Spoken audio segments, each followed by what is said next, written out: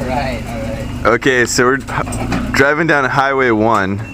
It's pitch black.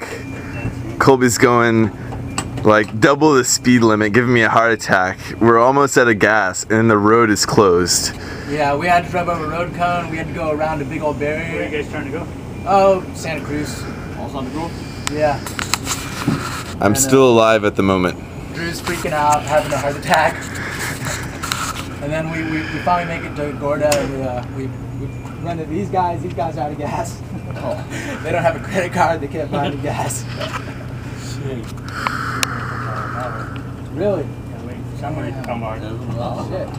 See, good thing we came. Yeah, exactly. We- we- Good call. If we stayed, we, we were on 101. And then I was like, oh, let's take one. One's pretty good. Yeah, he's one. He's going straight all the way. All the way to Monterey and then, uh, Monterey and then go all the way Marina and then Sunday.